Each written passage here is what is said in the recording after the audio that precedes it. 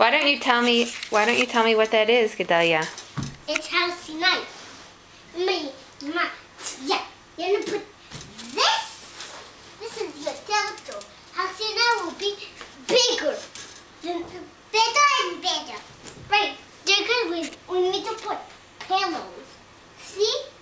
So you don't need to put a pillow. And where's your ohel? Where's your tent that you waited for Matan Torah? Here.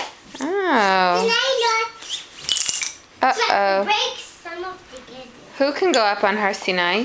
I got a shingle. Hashem could. And who else? Moshe. Ah, Moshe in my Torah. yeah.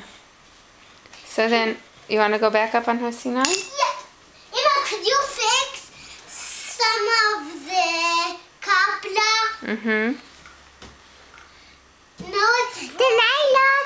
Mm-hmm.